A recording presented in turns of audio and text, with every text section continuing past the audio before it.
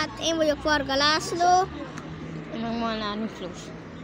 Hát itt várunk a busz megállóba is. Hát várunk. Egy óra múlva jön a busz. Jó, sziasztok, megyünk, már. Lájkoljátok! lájkoljátok.